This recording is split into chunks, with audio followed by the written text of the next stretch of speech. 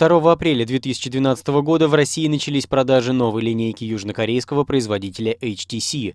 Серия, анонсированная еще зимой, называется One. В нее входят три смартфона HTC One V, One S и One X. Разброс цен на устройство составляет от 15 до 30 тысяч рублей. Старший аппарат One X работает на четырехъядерной платформе Tegra 3 с частотой в 1,5 ГГц.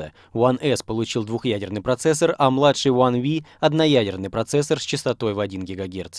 Размер экрана у смартфонов колеблется от 3,7 дюймов у младшей модели до 4,7 дюйма у старшей. Все смартфоны работают под управлением Android 4.0, и поскольку потребители все чаще интересуются облачными возможностями смартфонов, то HTC наладила партнерство с одним из лидеров – компанией Dropbox. Во всех трех аппаратах стоит система улучшения качества звука Beats Audio. Самое дорогое устройство в серии – это смартфон с приставкой X, заключенный в корпус из прочного поликарбонатного пластика. Два самых самых небюджетных смартфонов линейки можно будет подключить к телевизору или проектору по беспроводному интерфейсу с помощью специального адаптера.